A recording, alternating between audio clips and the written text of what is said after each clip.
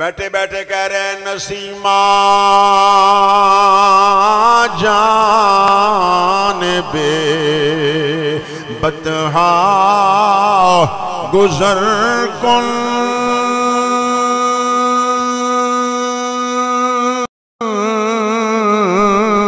Nasima جان بے بتہا گزر کل سے لم محمد را خبر کن توی سلطان عالم یا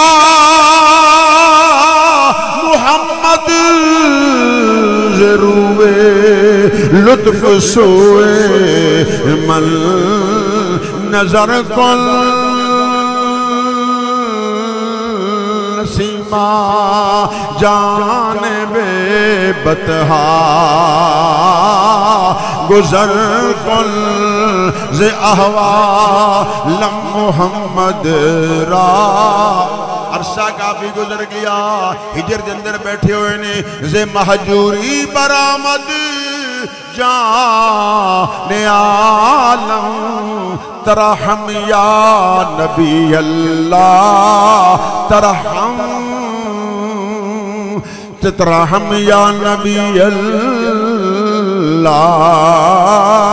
ترحم نسیمہ جان بے بتہا، گزر کل احوا لم محمد را خبر کل دوستانی محترم، والدین کے لیے دعائیں مانگا کرو۔ یہ قرآن و سنت سے ثابت ہے، دعا سے پرہیز نہ کیا کرو۔ قبر پر جا کر بھی دعا مانگی جا سکتی ہے، گھر میں بھی مانگی جا سکتی ہے۔ دعا جلدی پہنچتی ہے، سب سے زیادہ تیز چیز دعا ہے۔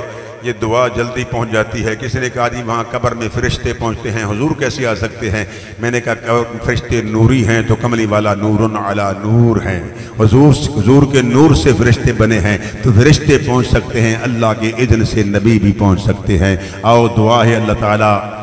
عزت ماب جناب شاہ نواز لودی صاحب، برادران کی اللہ، والدہ صاحبہ کی بخشش فرمائے، ان کے والد صاحب کی بخشش فرمائے، اللہ ہم سب کو عمل کی توفیق عطا فرمائے۔ جن کی مائیں حیات ہیں، اپنے ماں باپ کا ادب کرو، ان کی عزت کرو، احترام کرو، تاکہ یہ راضی ہو جائیں تو مصطفیٰ راضی ہو جائے، جس پر نبی راضی ہے، اس پر خدا راضی ہے۔ آخر میں دعا ہے اللہ تعالی، ہم سب کو حضور کا سچا غلام بنائے، ان کی والدہ صاحبہ کی بخشش فرمائے۔